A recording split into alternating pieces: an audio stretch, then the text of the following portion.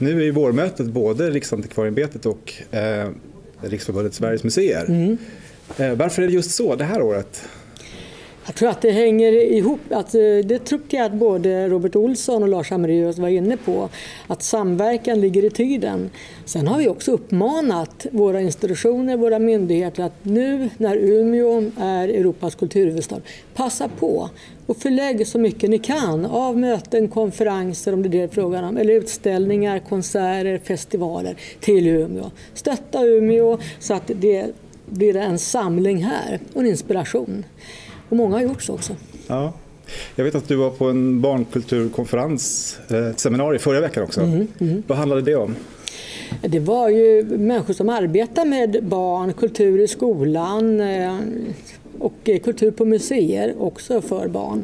Också inspirationsmöte. Det jag talade om var ju naturligtvis att kultur för barn och unga är nu sedan ett antal år ett nationellt mål. Det var det inte tidigare. Jag talade om också då om Europas kulturvaneundersökning som gör Sverige till en etta i Europa. Mm. Vi är mest kulturaktiva. Men också de bekymmer vi ser. Barns läsande som går ner och barns läsförståelse. Och det här påverkar ju inte bara skolarbetet. Exempelvis man talar om att många barn är dåliga på matematik så är det inte säkert att det är matematiken alltid är fel på. De kanske inte ens har förstått läsuppgiften mm. till. Utan också att de missar ju så mycket av den här världen som är böcker, fantasi, drömmar och kunna argumentera för det man vill och önskar. Språket är ju eh, som byggstenen, det som bygger kommunikation mellan oss. Mm. Eh, hur tänker du att museer och kulturarvet kan hjälpa till att öka eh, barns läsvanor eller kanske eh, barns kulturvanor? Allting börjar ju med, med, nyfikenhet och um, några bilder fick vi se. Moderna museet mm. har ju till exempel verksamhet till och med för så små barn som, som inte ens kan prata eller gå utan kryper fortfarande. Men de får i alla fall leka med färg och form kanske måla sig själva med, med blåbärsyoghurt eller något sånt här. Mm. Och sen kan man ju också se hur de reagerar på konst och det gör de.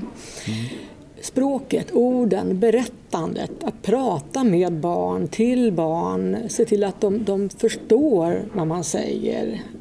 Barnböcker finns ju så många. Att inte bara läsa utan också prata om det man läser. Det är så man utvecklar barnens språk. Mm. Och ska vi vara riktigt eh, allvarliga där så när jag var uppe på Utbildningsradion och de berättade att de barn som får det här, som får gå på bibliotek som mm. små, där man läser högt, där man pratar vid matbordet, de har tre gånger så stort ordförråd när de mm. börjar skolan som andra barn. Det är väldigt svårt att hämta in det där. Så det betyder något. Ja. Ehm, jag tänker det verkar som att kulturen tar mer plats. Att det, det, är en viktig fråga som blir viktigare. Mm. Nu är vi i, i branschen så att säga, men mm. det är någonting som känns kan du säga någonting om museiutredningen också? Du tog upp det i talet lite grann. Mm, mm. Eh, hur går det med den? Den har kommit igång. Vi hade en hel dag i början på året där bland annat Claes-Uno Frykholm inte talade så mycket men framförallt lyssnade men presenterade sig själv. Och där det var också inlägg, föredrag om allt möjligt, omvärldsanalys inte minst. Och det var ett enormt intresse och en förväntan också på den här utredningen. Den ska vara klar i slutet på 2015 så att eh, Claes-Uno har hyggligt med tid. Men att eh, se hur kan man samverka bättre? Hur ser strukturen ut? Eh, nationella mål för museipolitiken skulle vi gärna vilja få fram som, en, som att inspirera, samlas kring, hävstång som eh, vi pratar om också. Sen eh, ska han själv framträda här så att han kommer nog få en hel del frågor. Mm.